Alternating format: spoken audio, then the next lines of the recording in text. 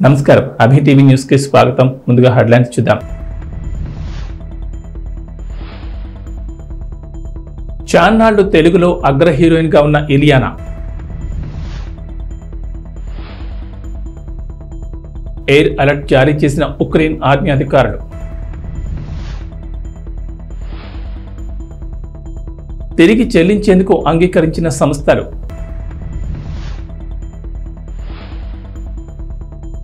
నిద్రించేందుకు మంచాలను తీసుకొస్తుంటే పోలీసులు అడ్డుకున్నారన్న రెజ్లర్లు. పోతినేని రామ్ సరసన దేవదాస్ చిత్రంలో ఎంట్రీ ఇచ్చి చానాళ్ళ పాటు అగ్ర హీరోయిన్గా నిలిచిన నటి ఇలియానా. పలువురు స్టార్ హీరోలు యువ నటుల సరసన నటించిన ఇలియానా మంచి ఫాలోయింగ్ సొంతం చేసుకుంది. టాలీవుడ్లో క్రమంగా అవకాశాలు తగ్గడంతో బాలీవుడ్ పట్టింది అక్కడ అనుకున్నంత సక్సెస్ రాకపోయినా కెరీర్ను నెట్టుకొస్తోంది. ఇదిలా ఉండగా తాను తల్లిగా పోతున్నానని చెప్తూ ఇలియానా అందరికీ షాక్ ఇచ్చింది తన మొదటి బిడ్డ కోసం ఎదురు చూస్తున్నట్లు ఆమె సోషల్ మీడియాలో తెలిపింది. రెండు వారాల కిందట చిన్నారి డ్రెస్సును తన మెడలో మామ అని రాసి ఉన్న లాకెట్ ఫోటోలను షేర్ చేసింది. కానీ చాలామంది నమ్మలేదు. తమ దేశ అధ్యక్ష భవనంపై దాడి నేపథ్యంలో రష్యా తీవ్రంగా ప్రతిస్పందించింది. ఉక్రెయిన్ నగరం కేర్సన్లోని సివిలియన్ టార్గెట్లపై బాంబుల వర్షం కురిపించింది. ఓ సూపర్ మార్కెట్తో పాటు రైల్వే స్టేషన్పై మిజైల్ దాడి చేయడంతో ఇరవై ఒక్క మంది పౌరులు చనిపోయారు. మరో నలభై ఎనిమిది మంది తీవ్రంగా గాయపడ్డారని ఉక్రెయిన్ మీడియా వెల్లడించింది. గురువారం ఉదయం కీవులో కూడా రెండు భారీ పేర్లు సంభవించాయని తెలిపింది. రష్యా దాడులను తిప్పికొట్టేందుకు పోరాడుతున్నామని కివ్ సిటీ మిలిటరీ అడ్మినిస్ట్రేషన్ను ఉటంకిస్తూ కీవ్ పోస్ట్ ఓ కథనాన్ని ప్రసారం చేసింది. ఎలక్ట్రిక్ ద్విచక్ర వాహనం కొనుగోలు చేసిన వారికి గుడ్ న్యూస్. తాము కొనుగోలు చేసిన వాహన ఛార్జర్ల మొత్తాన్ని తిరిగి పొందనున్నారు. Ola electric Ather energy Hero MotoCorp TVS motor electric వాహన ఛార్జర్ కోసం కస్టమర్ నుంచి వసూలు చేసిన మొత్తాన్ని తిరిగి చెల్లించేందుకు అంగీకరించాయి. కేంద్ర ప్రభుత్వం దేశంలో ఎలక్ట్రిక్ వాహన వినియోగాన్ని పెంచేందుకు ఫేమ్ టూ కింద సబ్సిడీలను ఇస్తోంది. ఒక్కో వాహనానికి పెద్ద మొత్తంలోనే ఇలా చెల్లిస్తోంది. కేంద్ర సర్కార్ లక్ష్యానికి తుట్లుపడుస్తూ వాహన కంపెనీలు ఛార్జర్లకు సైతం అదనంగా వసూలు చేస్తున్నాయి. దీంతో కేంద్ర సర్కార్ ఆయా సంస్థలకు ఫేమ్ టూ కింద సబ్సిడీలు నిలిపివేసింది. దీంతో ఛార్జర్ల కోసం వసూలు చేసిన మొత్తం మూడు వందల కోట్లు చెల్లించేందుకు ఓలా ఎథర్ హీరో మోట్ టీవీఎస్ మోటార్ అంగీకరించాయి. సుమారు మూడు వందల కోట్ల రూపాయలను ఇవి ఇప్పటికే ఎలక్ట్రిక్ వాహనాలను కొనుగోలు చేసిన వారికి చెల్లించనున్నాయి. దీంతో ఆయా కంపెనీలు తిరిగి ఫేమ్ టూ పథకం కింద సబ్సిడీలు పొందేందుకు అవకాశం లభిస్తుంది. బీజేపీ ఎంపీ భారత రెజిలింగ్ సమాఖ్య అధ్యక్షుడు బ్రిజ్ భూషణ్ వ్యతిరేకంగా భారత రెజిలర్లు నిరసన తెలుపుతున్న జంతర్ మంతర్ వద్ద బుధవారం అర్ధరాత్రి ఉద్రిక్త పరిస్థితులు నెలకొన్నాయి. నిరసన చేపట్టిన రిజర్లకు ఢిల్లీ పోలీసులకు మధ్య తోపులాట జరిగింది. ఢిల్లీ పోలీసులు తమను దుర్భషలాడుతూ అసభ్యంగా ప్రవర్తించారని మహిళా రిజర్లు ఆవేదన వ్యక్తం చేశారు. కొందరు పోలీసులు మధ్యమత్తులు తమపై దాడి చేశారని రెజ్లర్లు ఆరోపించారు. రిజర్లు పోలీసుల మధ్య జరిగిన తోపులాట తర్వాత వినేష్ ఫోగట్ మీడియాతో మాట్లాడుతూ కన్నీటి పర్యంతమైంది. రాష్ట్ర ప్రభుత్వం రైతుల విషయంలో పూర్తిగా విఫలమైందని పెద్దాపురం ఎమ్మెల్యే నిమ్మకాల చినరాజపు తోరిమెత్తారు. సామర్లకోట మండలం పెద్ద బ్రహ్మదేవంలో వర్షాల కారణంగా నష్టానికి కూరైన పంటలను పరిశీలించి రైతులతో ఎమ్మెల్యే మాట్లాడారు. నష్టాలతో రైతులు అల్లాడుతుండగా పట్టించుకునే నాదులే కరుపోయారన్నారు తక్షణమే తడిసిన ధాన్యాన్ని కొనుగోలు చేయాలని రాజపు డిమాండ్ చేశారు. పండించిన పంటకే గిట్టుబాటు ధర లేదు. ఒకవేళ ధాన్యం అమ్ముకుందారంటే అమ్ముకుని కొనే నాదుడు కూడా లేడు. ఏబీకే సెంటర్లు పెడతానని చెప్పి ఆర్బీకే సెంటర్లు పెడతానని చెప్పి ఆ సెంటర్లో కూడా మరి కొనే పరిస్థితి కూడా కనపట్టలేదు ఎందుకంటే ఇవాళ బొండాలు ఉన్నాయి. బొండాలు ఇక్కడ ఎక్కువ ఈ ప్రాంతంలో మరి బొండాలు వేయటం జరిగిందంటే రేట్ ఉంటుంది కదా అని చెప్పి బొండాలు వేయటం జరిగింది. దాన్ని కొనడానికి కూడా నారమ్స్ పెట్టి ఇంత పర్సెంటేజే బొండాలు కొంటామని చెప్పి ఇలా అగ్రికల్చర్ ఆఫీసర్ చెప్తా ఉన్నారు. ఇక్కడికి సెంటర్కి పట్టుకెళ్తే అగ్రికల్చర్ సెంటర్ పట్టుకెళ్తే అక్కడ ఈ ధాన్యం కూడా తడిసిపోయింది అంటున్నారు. వర్షాలు వచ్చి తడిసిపోతుంది మరి. మరి తడిసిపోయినప్పుడు కొనే బాధ్యత కూడా ప్రభుత్వం తీసుకోవాలి. ఎందుకంటే కూడా రెండు రోజులు పోతే మొ- మొదలు కూడా వచ్చే పరిస్థితి కనపడుతున్నది. ఇప్పటికే పెట్టుబడి చూస్తే ఒరిజినల్గా ఎకరానికి ముప్పై ఐదు వేలు అయితే ఇప్పుడు పదివేలు ఎక్స్ట్రా పెరిగిపోయింది ఖర్చు తడిపోయింది. తడిపోయింది దాన్ని బయట తీసుకురావడానికి పదివేలు ఖర్చు పెరిగింది ఇప్పుడు అంతా కూడా. అలాగే రైతులు ఉన్నారు కౌలు రైతులు ఉన్నారు. కౌలు రైతులకు ఇప్పుడు డబ్బులు కూడా ఈ కౌలు రై వ్యవసాయమో కౌలు రైతు చేస్తున్నాడు రైతేమో మళ్ళీ డబ్బులు కూడా రైతుకే కొడుతుంది తప్పించి కౌలు రైతు కొట్టట్లేదు కౌలు ఒక్కరు కొన పెట్టుబడి అంతా రైతు కౌలు రైతు పెట్టుబడి పెడుతున్నాడు. ఈ గవర్నమెంట్ పాలసీలో మీరేదో నేను రైతులను ఉద్ధరిస్తానని చెప్పి పదే పదే చెప్తూ ఇవాళ రుణాలు కూడా సక్రమంగా ఇవ్వలేదు. అలాగే ఈ సబ్సిడీలు లేవు ఓ ట్రాక్టర్ లేదు పవర్ టిల్లర్ లేదు ఒక టార్పన్ కూడా లేదు ఇక. తడిసిపోయిన ధాన్యం దీన్ని టార్పన్ ఇవ్వాలి. అవి కూడా అక్కడ ఎవరు ఇచ్చిన పరిస్థితి కనపట్టలేదు అంటే మొత్తం సబ్సిడీలు ఎత్తేసి పాడేసాడు మొత్తం. రైతులు ఆత్మహత్యలు చేసుకుంటున్నారు ఇప్పటికి. ఇప్పుడు ఏమీ మానలేదు. గవర్నమెంట్ వచ్చిన తర్వాత చాలా ఆత్మహత్యలు జరిగినాయి. ఎన్నిసార్లు చెప్పినా పట్టించుకోని పరిస్థితి. రైతులను ఉద్ధరిందారని ఆలోచన లేదు. ఏదో చెప్పుకుంటూ పోయి వచ్చేసి ఇచ్చేసి వచ్చేసి ఇచ్చేసి అని చెప్తున్నాడు తప్పింది ఒరిజినల్గా రైతు కింద స్థాయిలో సమస్యలు ఏంటని తెలుసుకున్న ఆ సమస్య పరిష్కారం జరగట్లేదు. ఈవేళ మేము ఇక్కడికి మరి పెద్దాపురం నియోజకవర్గంలో పెద్ద బ్రహ్మదేవం బల్కంపేట ఎల్లమ్మ దేవాలయం వద్ద దాతల సహకారంతో నిర్మించిన ముప్పై నాలుగు షాపులను ప్రారంభించారు మంత్రి తలసాని శ్రీనివాస్ యాదవ్. భక్తులు మొక్కల రూపంలో చెల్లించుకున్న బంగారంతో అమ్మవారికి ఆభరణాలు రెండు పాయింట్ రెండు సున్నా కిలోల బంగారంతో అమ్మవారి కిరీటం ఇతర ఆభరణాల తయారీ ఆలయ ప్రధాన ద్వారాలకు వెండి తాపడం ఆలయ అభివృద్ధికి స్వచ్ఛందంగా ముందుకొస్తున్న దాతలు మంత్రి తలసాని సిరుజు వ్యాపారులకు ఉచితంగా షాపులను కేటాయించారు.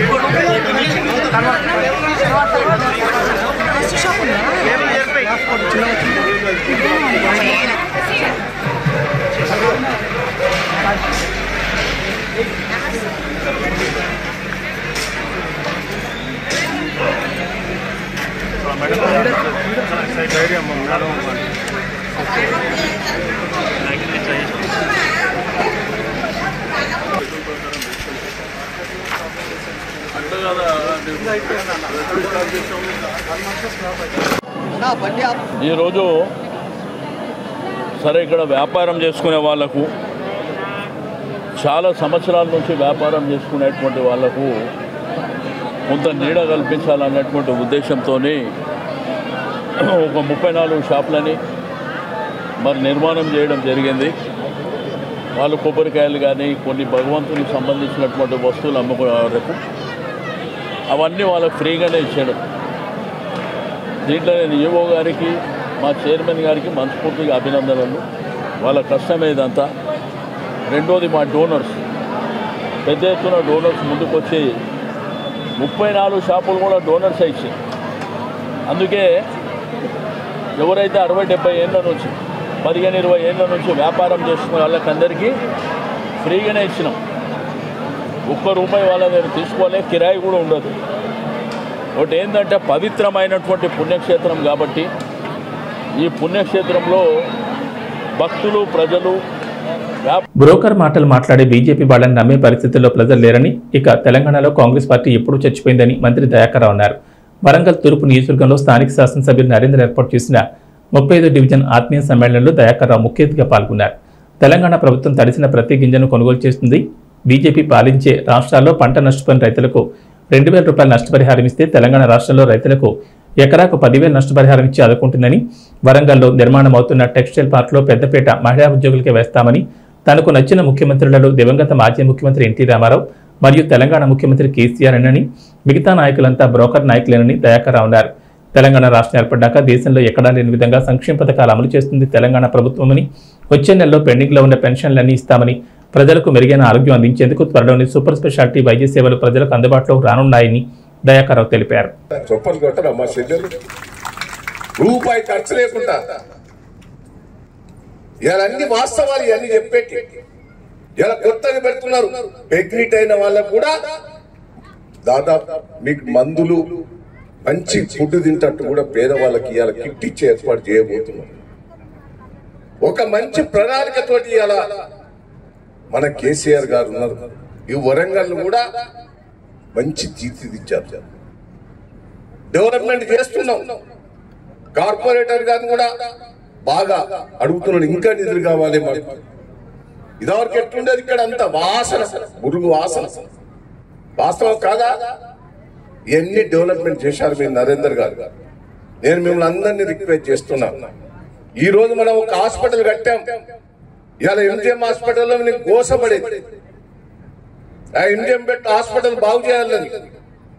ఈ రోజు దేశంలో ఎక్కడ లేని హాస్పిటల్ మన వరంగల్ జరగబోతున్నదని కూడా ఈ సందర్భంగా మీకు వెయ్యి కోట్లతో ప్రతి ఆపరేషన్ ఈ కాంచి పేదవాళ్ళు ఒక ఆరు నెలల లోపల హాస్పిటల్ ఓపెన్ అవుతారు పేదవాళ్ళు ఎక్కడికి పోతు రూపాయి ఖర్చు లేకుండా ఫ్రీగా ఆపరేషన్ హైదరాబాద్ పోతు ఏ హాస్పిటల్ పోకుండా పెద్ద హాస్పిటల్ కడుతున్నాం. పేదవాళ్ళ కోసం. స్కూల్ బాగు చేస్తున్నాం. కలెక్టర్ ఆఫీస్ కోసం మొదలు నేను అక్కడ పెడదాం అనుకున్నా. ఏడా? ఏనా ఈడేనా? జక్కులు తిని పెడదాం అనుకున్నా. ఇటు పెడదాం అనుకున్నా. నర్సంపేట రోడ్ ఇంకా అటు ముందుకు. మా ధర్మారెడ్డి గారు అటు పెట్టు అన్నాడు ఆరు రమేష్ గారు జక్కులు తిని పెట్టు అన్నాడు తీరు తీర్లు అడిగారు. కానీ అది కోర్టు కేసు ఉండే. అయినా నేను నరేందర్ ఆ కోర్టు కేసును సక్సెస్ చేసి మీ దగ్గర కలెక్టర్ ఆఫీస్ బిల్డింగ్ కడుతున్నాను అది మీకు ఎంత లాభం? లాభం కాదా? మేమందరం కలెక్టర్ ఆఫీస్ వచ్చి కూర్చుంటాం. నూతనంగా నిర్మిస్తున్న మెడికల్ కళాశాల పనులను పరిశీలిస్తున్నారు వైద్య ఆరోగ్య శాఖ మంత్రి. ఆసుపత్రి నందు నూతనంగా నిర్మించిన ఓపీ బ్లాక్ సముదాయాన్ని పరిశీలించారు మంత్రి రజని. నంద్యాల సరోజన ఆసుపత్రిలోని నూతన ఓపీ మాతా శిశు సంరక్షణ బ్లాక్ను తనిఖీ చేశారు. వైద్య ఆరోగ్య శాఖ మంత్రి విడుదల రజని. పేషెంట్ల దగ్గరకు వెళ్ళి వాళ్ళకు అందుతున్న బాగోగులను అడిగి తెలుసుకున్నారు. వైఎస్ఆర్ ఆరోగ్యశ్రీ రిజిస్ట్రేషన్ బుక్ను పరిశీలించి తగు సూచనలు చేశారు మంత్రి రజని. ముందు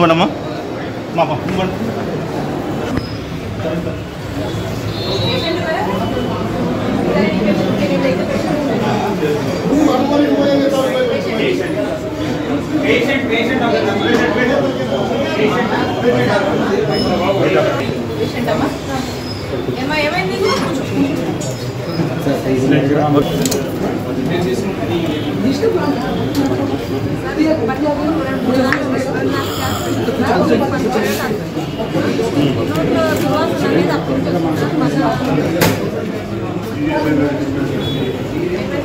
స్మెల్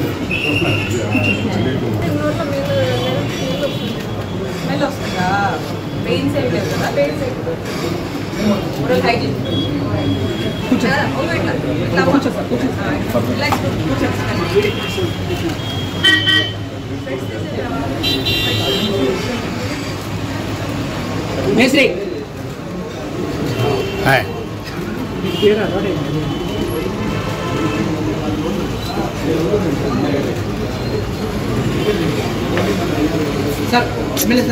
ఇక్కడికి బాగా చూస్తారా ఇక్కడ?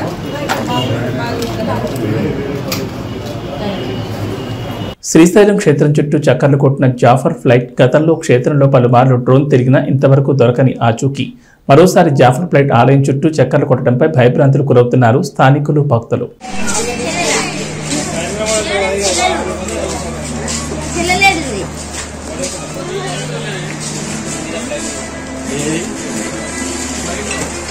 Ready? Ready, play.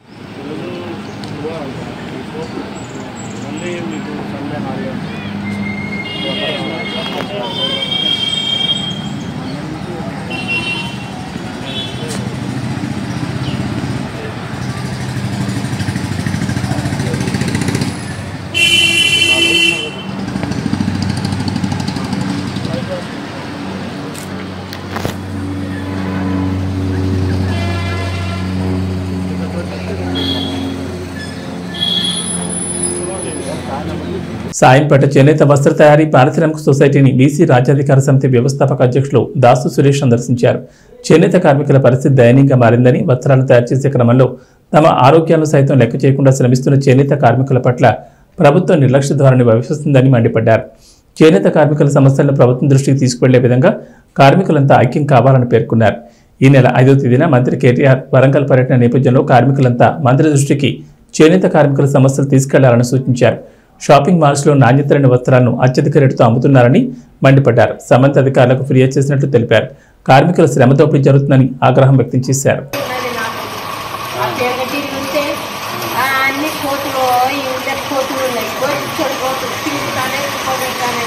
ఎప్పుడు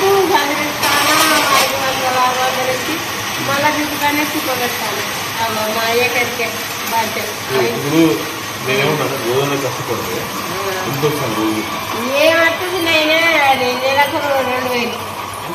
ఆ, ఆ. అంటే ఆరు గంటల ఏడు గంటల పెన్షన్ వస్తుందా మరి మీకు పెన్షన్ ఉన్నాయా? తీసుకురా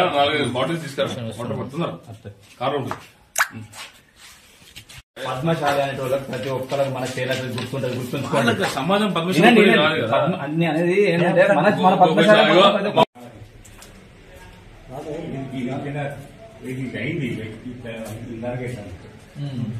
ప్రతి ఒక్క- టవర్ పదకొండు మీటర్లు ఉంటుంది. మెటీరియల్ మొత్తం వాళ్ళైతారా అంతకుముందు చేత చెప్పి తర్వాత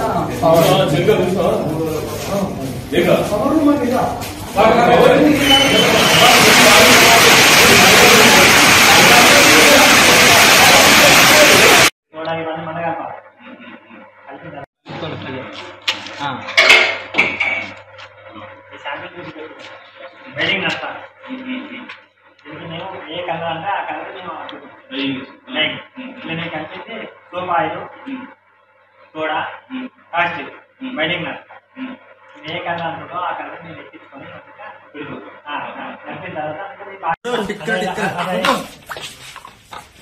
ఇప్పుడు ఆయన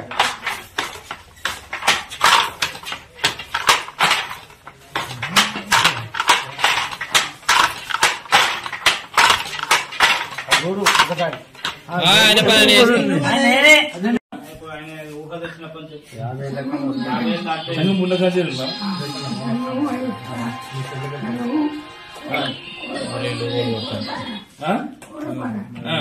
బాలు ఇట్రా లోగోలు పడతాడు అంటాడు మరి ఒకసారి ఆయన చెప్పాలి. ఆయన చేసుకునే బట్టలు మరి నకలీ చేతితో పట్టాలా? అసలు చేతితో పట్టాలా అనేది ఆయన చెప్పాలి. మరి ఆయన కూడా మనకు ఈ యొక్క రెండు వేల పదిహేను నుండి రెండు వేల ఇరవై మూడు మే నాలుగో తేదీ వరకు భద్రాద్రి జిల్లాలో ఒక కేసు కూడా నమోదు కాలేదు. నాపై అన్న మద్దిశెట్టి సామ్యాలు ఈ రోజు నుంచి ఇరవై రోజుల్లోపు నాపై దృశ్య ప్రసారాలు క్రమించిన ప్రజాప్రతినిధులను ఢిల్లీ హైకోర్టు ముందు కూర్చోబెడతాను. ఎలక్షన్ అయిన ఐదు సంవత్సరాలకి ఓ ప్రజాప్రతినిధి వేలాది లక్షలాది రూపాయలు సంపాదించారు. ఆ ప్రజాప్రతినిధిపై కూడా ముఖ్యమంత్రి కేసీఆర్ విచారణ చేపట్టాలన్నది. అన్న మద్దిశెట్టి గిరిజనుల కోసం నా తుది శ్వాస వరకు అయినా పోరాడతా. నా పోరాటం అన్ని ఆపను. నాపై తప్పుడు కేసులు బనాయించినా జైలుకు పోవడానికైనా సిద్ధంగా ఉన్నాను. అన్న మద్దిశెట్టి దళిత బంధు లబ్ధిదారుల నుంచి కొందరు ప్రజాప్రతినిధులు ముప్పై ఐదు శాతం పాత కోశారని సీఎం కేసీఆర్ అనడం సిగ్గుచేటు అంటున్నారు మద్దిశెట్టి. ఒకవేళ తప్పు చేసినాం అనుకో మేమే వచ్చి తప్పు చేసినాం సార్ అని చెప్తాం. మేము పొద్దాక తమాషాలా. మీరు అధికార పార్టీలో ఉన్నారని చెప్పి మీకు అధికారం ఉందని చెప్పి మీ ఇష్టం వచ్చినట్టు కేసులు పెట్టుకుంటూ పోతుంటే చూసుకుంటూ కూర్చోవాలి మేము? ఇంకొక మూడు నెలల తర్వాత మీరు ఉంటారో ఉండరో గ్యారంటీ లేదు. ఈసారి మీరు వస్తారా? ఈసారి మీరు గెలుస్తారా? నేను ఒక్క ఎమ్మెల్యేనే అడుగుతున్నా. మిగతా వాళ్ళని కాదు. దయచేసి తప్పుగా అనుకోవద్దు. ఈసారి మీరు గెలుస్తారా? ఒకవేళ మీరు ఓడిపోతే మీ పరిస్థితి ఏంటి రేపు? మేము పెట్టలేమా? ఇరవై రోజుల్లో ఇరవై రోజుల్లో నా మీద ఎవరెవరైతే తప్పుడు ఆరోపణలు చేసి నా మీద ఎవరెవరైతే తప్పుడు కేసులు పెట్టారో వాళ్ళందరినీ ఢిల్లీ పిలిపిపోతే ఇరవై రోజులు ఈ రోజు నుంచి ఇరవై రోజులు లెక్క పెట్టుకోండి. ఢిల్లీ పిలిపించి న్యాయస్థానం ముందు మిమ్మల్ని నిలబెట్టి ముద్దాయిలాగా నిలబెట్టకపోతే నా పదవికి రాజీనామా చేస్తా. మీడియా ముందు చెప్తున్నా. ఇంకొకటి నన్ను నమ్ముకున్న ప్రజలు ఒక లక్ష డెబ్బై వేల మంది ప్రజలు ఒక లక్ష యాభై వేల మంది ప్రజలు ముప్పై ఏడు మండలాలు ఆరు వందల డెబ్బై గ్రామాలు చూస్తున్నారు సామ్యాలను ఎప్పుడు పిలిపిస్తారా అని. నేను పిలిపిస్తే మీరు ఆపటం మీ వల్ల కాదు. మీరు ఎవరినైనా దింపుకోండి ఎంతమందినైనా తీసుకోండి? మీరు మీరు ఆపలేరు. కానీ చట్టాన్ని చేతిలో తీసుకోవటం నాకు ఇష్టం లేదు. లీగల్గా పోతాం మేము. మేము తప్పుడు కేసులు పెట్టాలంటే మీరు బయటకు కూడా రారు. లీగల్గా కోర్టులు ఉన్నాయి న్యాయస్థానాలు ఉన్నాయి. ఎస్పీ స్థాయి అధికారుల మీద మాకు నమ్మకాలు ఉన్నాయి. మేము కంప్లైంట్లు ఇచ్చినాం. మొత్తం ఇప్పుడు పద్దెనిమిది మంది మీద నేను ఫిర్యాదు చేయడం జరిగింది.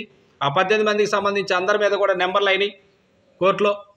నేను కోర్టులో ఏదన్నా కోర్టు పరంగా చూసుకుంటే తప్ప నేను తప్పుడు కేసులు పెట్టి తప్పుడు వ్యవహారాలు అయితే నేను చేయను. సింపుల్గా సిల్లీ వ్యవహారాలు అయ్యి నేను అట్లా చేయను. మీకు వాస్తవాలు ఏదైనా ఉంటే వాస్తవాల ప్రకారం మీరు మాట్లాడండి. ఇవాళ మీడియా మిత్రుల మీద తప్పుడు కేసులు పెడుతున్నారు. అంటే మీరు ఏదైనా చేస్తే మీరు ఇస్తేనేమో తప్పుడు కేసులు పెడతారు. న్యాయంగా మాట్లాడే మీడియా మిత్రులు ఎవరైనా న్యాయంగా ఏదైనా స్టేట్మెంట్ ఇచ్చారనుకోండి వాళ్ళ మీద కేసులు పెడతారు మీరు. కల్లూరులో ఇది అదే పరిస్థితి అయింది ఈరోజు ఒక ఇద్దరు మీడియా మిత్రుల మీద తప్పుడు కేసులు పెట్టారు. నేను చెప్తున్నా వాస్తవంగా. తప్పు చేస్తే నేను ఒప్పుకుంటా. చదరంగం ఆట పిల్లల్లో శ్రద్ధ ఆసక్తిని మేధాశక్తిని పెంచుతాయని బీఆర్ఎస్ పార్టీ జిల్లా నాయకులు జిల్లా చెస్ అసోసియేషన్ అధ్యక్షులు గండూరి కృపాకర్ అన్నారు. విద్యానగర్ నలభైతో పాటు గంటూరు రామస్వామి ఉచిత వాటర్ ప్లాంట్ నందు వేసవి సెలవుల్లో ప్రతిరోజు ఉదయం ఎనిమిది గంటల నుంచి పది గంటల వరకు అందించే ఉచిత శిక్షణను ఆయన గురువారం ఉదయం ప్రారంభించారు. ఈ సందర్భంగా ఆయన మాట్లాడుతూ చదరంగం ఆట రాజుల కాలంలో ప్రాచుర్యం పొందని మంత్రి ఏనుగు గుర్రం వంటి బంట్లతో తన రాజును కాపాడుకోవాలనే లక్ష్యంతో చదరంగం ఆట నడుస్తుందని ఆయన అన్నారు. ఎనిమిది నిలువుగడులు ఫైల్స్ మరియు అడ్డుగడులు ర్యాంకులతో అరవై నాలుగు గదులతో చదరంగం ఆట పిల్లల నైపుణ్యతను పెంచుతుందని ఆయన అన్నారు. విద్యుత్ శాఖ మంత్రి గుంటకండ్ల జగదీష్ రెడ్డి సూర్యాపేట పట్టణంలో పిల్లల కోసం పార్కులు జిమ్ కేంద్రాలు ఏర్పాటు చేస్తున్నారని మంత్రి జగదీష్ రెడ్డి స్ఫూర్తితో విద్యానగర్లో చెస్ పోటీలు నిర్వహిస్తున్నట్లు చెప్పారు. ఈ కార్యక్రమంలో జిల్లా చెస్ అసోసియేషన్ కార్యదర్శి శిక్షకులు సతీష్ కుమార్ రవ రాంబాబు ప్రభాకరచారి కుక్కడ సాలయ్య భిక్షం సందీప్ కళ్యాణ్ ఆర్నూర్ల రాము తదితరులు పాల్గొన్నారు.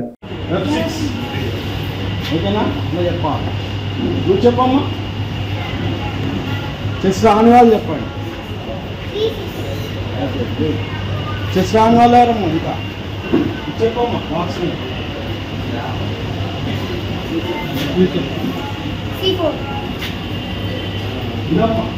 ఈ యొక్క క్రీడని మేము ఈ రోజు నుండి మొదలుకొని ఒక నెల రోజులు మేము ఈ యొక్క కార్యక్రమాన్ని ప్రజల కోసం పిల్లల కోసం ముందుంచుతున్నాము.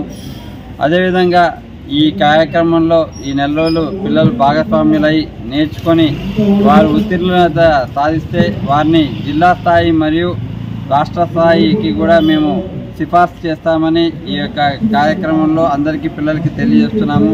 కావున ఈ యొక్క చెస్ క్రీడని మీరు పిల్లలందరూ కూడా శ్రద్ధాశక్తులతో నేర్చుకోవాల్సిందిగా కోరుకుంటూ ఈ అవకాశాన్ని సద్వినియోగం చేసుకోవాల్సిందిగా కోరుకుంటూ ముగిస్తున్నాను. ఆనంద్ గుర్తొస్తారు. మన దేశ ఖ్యాతిని అంతర్జాతీయంగా తీసుకుపోవడంలో ఆనంద్ ఈ చెస్ గేమ్ తోటి మనకి పరిచితుడు. అదేవిధంగా మనం ఈ యొక్క వేసవి కాలంలో చిన్నారులు ఇంట్లో ఉండి టీవీలకు ఫోన్లకు అతుక్కోకుండా వారిని ఈ విధంగా చెస్ గేమ్ ఆడటం మరియు నేర్పించడం అనే విషయంలో మేము ఒక శ్రద్ధ తీసుకొని మన నలభై ఐదో వార్డ్ విద్యానగర్లో రామలింగేశ్వర్ థియేటర్ వద్ద గండూరి జానకమ్మ వాటర్ ప్లాంట్లో ట్రైనర్ తోటి అనుభవజ్ఞ అనుభవజ్ఞులైన ట్రైనర్ ట్రైనర్ తోటి మేము ఈ యొక్క గేమ్ని నేర్పించడం జరుగుతుంది. కావున సూర్యాపేట పట్టణ ప్రజలందరూ కూడా పిల్లల్ని ఇక్కడికి పంపించి ఎనిమిది మార్నింగ్ ఎయిట్ ఓ క్లాక్ నుండి టెన్ ఓ క్లాక్ వరకు ఈ యొక్క గేమ్ని ఆడించడం నేర్పించడం జరుగుతుంది. అదేవిధంగా ఈ గేమ్ నేర్చుకుంటే పిల్లల్లో శ్రద్ధాశక్తి మేధాశక్తి పెంపొందించే విధంగా ఉంటుంది. వారు రేపటి నాడు ఏ విషయంలో అయినా ఇటు చదువే కానీ ఆటలే కానీ అన్ని విషయాల్లో ఈ యొక్క క్రీడ నేర్చుకోవడం వల్ల వాళ్ళ యొక్క మేధోశక్తి పెంచుకొని వారు ముందడుగు వేస్తూ వారి జీవనాల్లో వాళ్ళు సఫలీకృతం అవుతారనేది మనం చెప్పుకోవచ్చు. ఈరోజు చూస్తుంటే మన గు- జగదీష్ రెడ్డి గారు ఈ పిల్లల కోసం ఎన్నో గ్రౌండ్స్ మరియు వ్యాయామశాలలు ఏర్పాటు చేస్తూ వారి పిల్లల్ని ప్రోత్సహిస్తున్నారు. అదేవిధంగా వారి అడుగు జాడల్లో మేము నడుస్తూ ఈ యొక్క కార్యక్రమాన్ని చేపట్టడం జరుగుతుంది.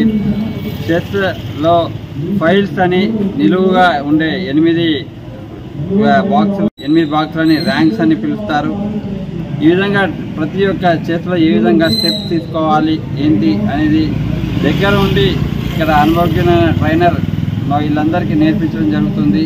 కావున సూర్యాపేట పట్టణ ప్రజలందరూ కూడా ఈ అవకాశాన్ని వినియోగించుకొని ఈ యొక్క చెస్ గేమ్లో ప్రావీణ్యం అయ్యి మన సూర్యాపేటకి దేశ లెవెల్లో పేరు తెస్తారని మేము ఈ యొక్క క్రీడని మేము మీకు అందిస్తున్నాం. కావున ఈ అందరూ కూడా ఈ యొక్క అవకాశాన్ని సద్వినియోగం చేసుకోవాల్సిందిగా కోరుకుంటున్నాం. హనుమకొండ ఏకశిలా పార్క్ ఆవరణలో గ్రామ పంచాయతీ కార్యదర్శులు జేపీఎస్ మరియు ఓపీఎస్లను రెగ్యులైజేషన్ చేయాలని గత ఆరు రోజులుగా నిర్వదీక్షకి కూర్చున్న అవుట్సోర్సింగ్ కార్మికులకు మద్దతు తెలుపుతున్న అఖిల భారత మహాత్మా జ్యోతిరావు పూలే సామాజిక న్యాయ వేదిక రాష్ట్ర అధ్యక్షులు కేటల ప్రసాద్ మాట్లాడుతూ తెలంగాణ రాష్ట్ర వ్యాప్తంగా రెండు వేల పద్దెనిమిదిలో సుమారు తొమ్మిది వేల ఐదు వందల మంది నిరుద్యోగులను కాంట్రాక్ట్ పద్ధతిన అవుట్సోర్సింగ్ కార్మికులుగా పంచాయతీ కార్యదర్శిగా పరీక్షలు నిర్వహించి ఇంటర్వ్యూ చేసి రోస్టర్ పాయింట్ల ఆధారంగా అర్హులైన వారిని నియమించుకోవడం జరిగిందని కానీ ఆరు సంవత్సరాలు గడుస్తున్నప్పటికీ ఇప్పటి వరకు రెగ్యులరైజేషన్ చేయకుండా కాలయాపన చేస్తున్నారని ఇందులో కొంతమంది అనివార్య కారణాల వల్ల ఉద్యోగం చేయకుండా ఉన్నారని గత మూడు నెలలుగా జీతాలు కూడా ఇవ్వకుండా చేసిన ఉద్యోగాలు వదిలి వెళితే మళ్ళీ కొత్త నియామకాల పేరుతో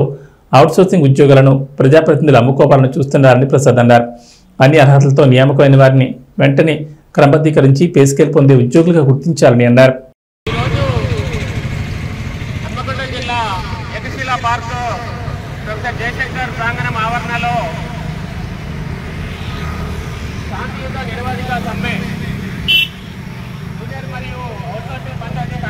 క్రమబద్ధీకరణకై ఎటువంటి షరతులు లేకుండా అందరూ మరియు అవుట్సోర్సింగ్ పద్ధతి రెగ్యులరైజేషన్ చేయాలని ఏపీఎస్ మరియు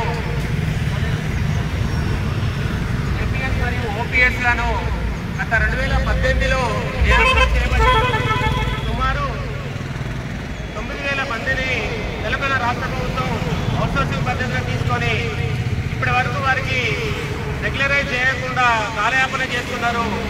వాళ్ళని వెంటనే తెలంగాణ రాష్ట్ర ప్రభుత్వం క్రమబద్ధీకరణ చేయాలని చెప్పి వారి జీవితాలపై వాళ్ళ వారి జీవితాలతో ఆడుకోవద్దని చెప్పి ఇక్కడ ఏకశీల పాత్ర ఆవరణలో నిరసన దీక్ష తెలియజేయడం శాంతియుత నిరసన దీక్ష తెలియజేయడం జరుగుతున్నారు ఈ విషయాన్ని అఖిల భారత మహాత్మా జ్యోతిరావు పులే సామాజిక న్యాయవేదిక రాష్ట్ర అధ్యక్షుడైన కేరళ ప్రసాద్ సామాజిక న్యాయవేదిక ఆధ్వర్యంలో వీరికి మద్దతుగా ఈరోజు ఇక్కడికి రావడం జరిగింది.